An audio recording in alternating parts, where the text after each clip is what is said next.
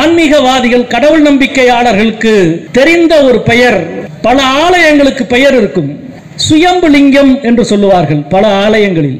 பல கோவில்களுக்கு போனால் சொல்லுவார்கள் இது வந்து சுயம்பு கோவில். இந்த இடத்துல சிவலிங்கம் வந்து சுயம்பாவே உருவாக்குச்சு எனவே அது சுயம்பு லிங்கம் என்று சொல்லுவார்கள். அப்படி இந்தியாவில் சுயம்பாக வேறு யாரும் உதவி செய்யாமல் தானே ஒரு நகரம் தொழில் ரீதியாக உலகத்தின் பிரசித்தி பெற்ற நகரமாக வளர்ந்த சுயம்பு நகரம் திருப்பூர்.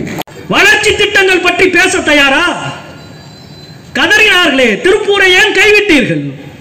எட்டாண்டு காலம் தேங்கி போயிருக்கிற திருப்பூரினுடைய உற்பத்திக்கு உலகத்தில் எந்த நாட்டிலும் வரிச்சலுகையை பெற்றுத்தர தர முடியாமல் எங்கள் மாநகரத்தை ஏன் நீங்கள் கைவிட்டீர்கள்?